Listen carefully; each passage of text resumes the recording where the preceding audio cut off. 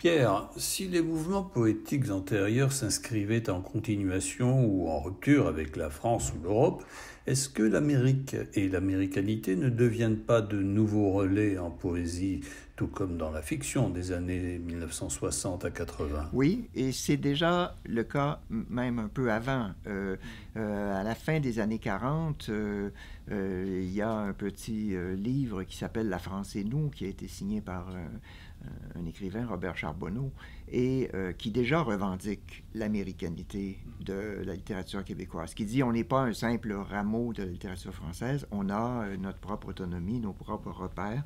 Et euh, Gaston Miron en particulier se, reconnaît très bien l'importance de Charbonneau et a lu euh, la France et nous euh, très très tôt dans son parcours. Alors le, souci d'américanité, oui, il vient, euh, il vient à même aussi le désir de dire le pays dans des termes vraiment contemporains, dans des termes modernes, à travers de nouvelles références poétiques, une sorte d'appropriation qui en même temps est,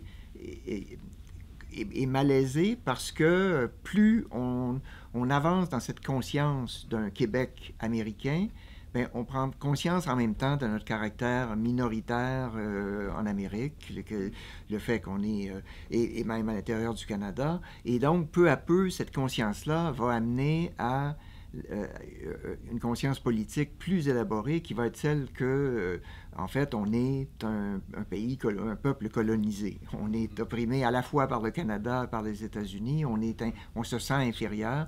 Et donc, la poésie du pays et la poésie qui est portée notamment par toute la génération de l'Hexagone, c'est une poésie qui est, euh, qui, qui, un peu comme le faisait Hainaut dans le poème que j'ai cité, rejette la soumission, euh, mais le fait dans les termes plus politiques et en fait euh, affirme au contraire un avenir.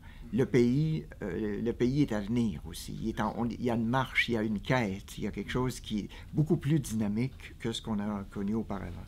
Donc une inspiration qui peut être marxiste même et formaliste euh, dans certaines... Euh, qui peut l'être, mais euh, la poésie du, du, pays comme tel prend, prend plutôt une forme, je dirais, plutôt lyrique. Euh, euh, c'est parfois une célébration. Euh, je pense à Jean-Guy Pilon, parlant, par exemple, parlant du pays, qui est en même temps, c'est en même temps un, éloge de la parole sur le pays. Il y a une, sorte de prise de parole qui est très importante et qui va s'incarner d'ailleurs dans le recueil marquant de 1965, signé par Roland Giguère, euh, qui s'appelle L'âge de la parole. Et cette, ce titre-là est devenu comme euh, emblématique de toute une époque. Le moment où on dit le pays, c'est en même temps celui où la parole peut s'épanouir dans toutes ses formes, dans, toutes ses, dans toutes ses modalités. Euh, et effectivement, là-dedans va surgir va surgir le marxisme, va surgir le féminisme, et aussi un formalisme. Alors lui, on pourrait dire d'une certaine manière, est en, est, réticent à l'égard de la poésie du pays. C'est une poésie qui, euh, qui est marquée aussi par les courants français euh, euh, tels quels et qui veut déconstruire le langage, mais dans une optique critique, critique de la bourgeoisie, critique des institutions dominantes, capitalistes. On pense entre autres la Barre du Jour, qui est fondée en 1965, qui va être le lieu classique de ça, alors que les écrivains de, de l'Hexagone ont créé leur propre revue qui va devenir elle aussi majeure, c'est la revue Liberté, euh, qui est fondée en 59 et où la plupart des poètes de la génération de l'Hexagone vont écrire, soit publier des poèmes ou publier des essais.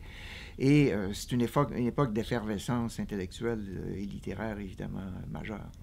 Ce qui va aboutir à des textes beaucoup plus révoltés du côté de Denis Vanier ou de José Yvon, n'est-ce pas? Oui, tout à fait. Euh, je, dois dire, euh, Denis Vanier, euh, très jeune, publie un recueil, je crois qu'il avait 17 ou 18 ans à peine, un recueil qui s'appelle tout simplement Je, mais quand on est adolescent, on doit d'abord dire Je, c'est ce qu'on veut faire. Alors, oui, euh, mais en même temps, il faut dire que tout ça, ce, mouvement, parfois euh, aussi inspiré par euh, toutes les nouvelles tendances de la culture contemporaine, bon, d'abord la culture rock américaine, euh, la contre-culture de façon générale, les mouvements des drogues, euh, les communes, la, la, libération sexuelle, enfin tout ça, parfois d'une façon assez agressive, euh, par exemple chez Vanier ou chez sa compagne José Yvon. Mais il faut voir que tout ça est en même temps contemporain peut-être ce qui est sans doute le plus grand et le dernier des grands recueils du pays, c'est-à-dire L'homme rapaillé de Gaston Miron en 1970. Euh, mais on peut dire que lorsque, euh, lorsque le, recueil de Miron paraît en 70, il est assez tardif par rapport au mouvement. Euh, la plus, tous les autres euh, grands euh, poètes du pays se sont déjà manifestés auparavant. C'est simplement parce que Miron a beaucoup tardé à publier son livre.